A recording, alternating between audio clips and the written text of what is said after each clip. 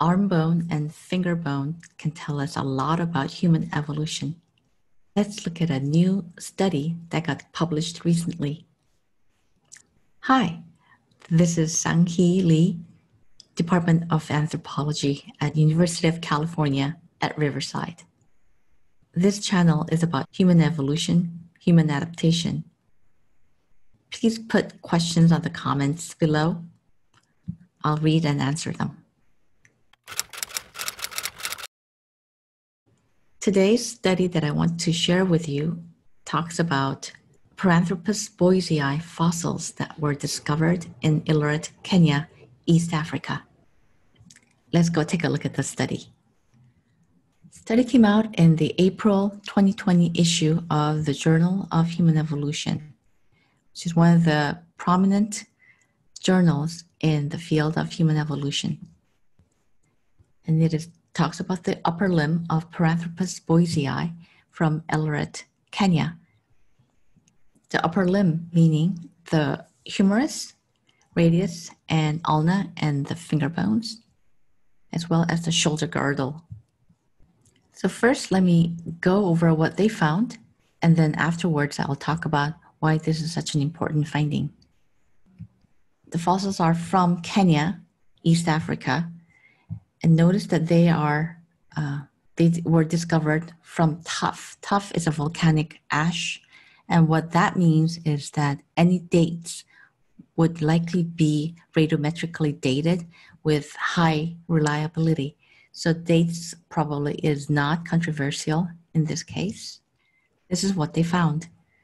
Now, the third one on the right is the fossil KNMER 47,000 is the name of the fossil. One on the left is a human.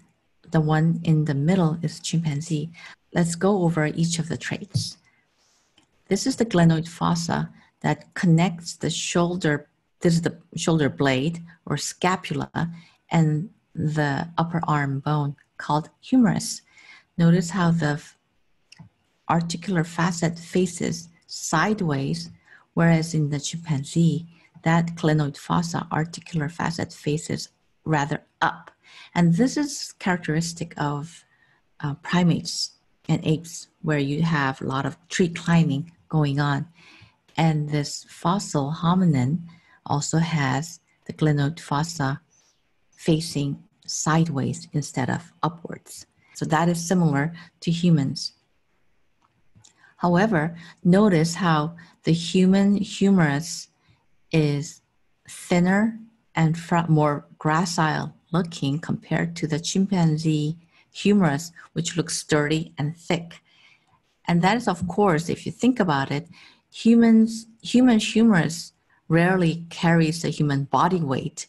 We rarely walk on four feet we rarely walk on all fours, whereas chimpanzees, they rely on their shoulder um, joints and their upper upper limbs to carry their body weight, either by knuckle walking, walking on walking on all fours, or even tree climbing where they have to carry their body weight using their arm bones.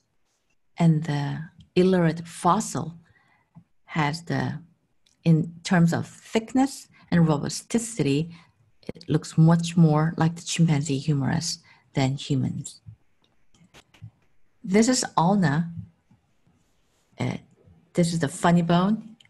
The ulna is the one that is hooked into and connected into to the humerus. Notice how human ulna is straight and the chimpanzee ulna is curved like this and the fossil Ileret fossil or ulna also curves. The third interesting situation is the thumb bone.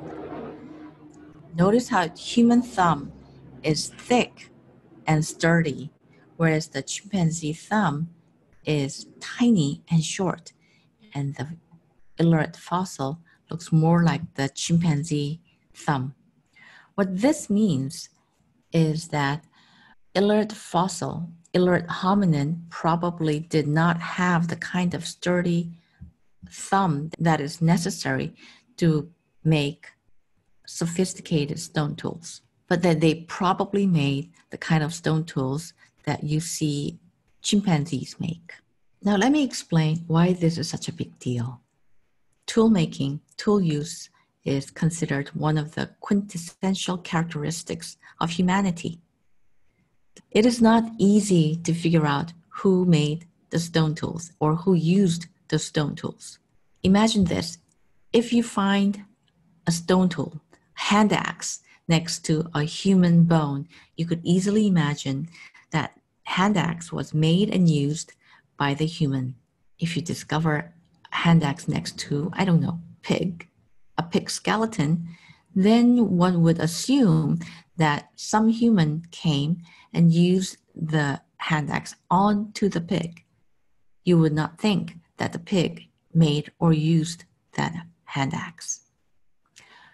What if you discover a hand axe next to early hominin, Australopithecus or Paranthropus?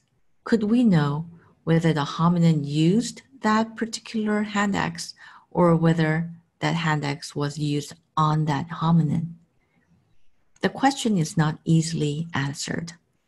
So we will have to make some inferences about tool making and tool use. In order to make and use tools, we could safely assume that we need the brains and we need the body to make them. Paranthropus boisei has the brain size about 5 to 600 cc, which is larger than the earlier Australopithecus, smaller than Homo erectus, larger than chimpanzee. If they had the brains to make them, what kind of stone tools could they have made? And here's where the thumb plays an important role. You need to grab something hard to hit two rocks against each other to crack and make stone tools.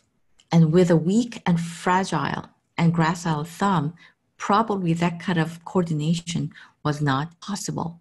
And that is the argument that the researchers are making in this study is that Paranthropus boisei most likely made those tools, but did not have the thumb to make the kind of tools that Homo erectus made, namely the Acheulean hand axes. So, from simple bones like humerus and thumb bones, we could learn a lot about human evolution, what makes us humans. Thank you for viewing this video today. Subscribe and set your alarm to get new updates about new videos from this channel on human evolution. And I hope to see you again. Thank you.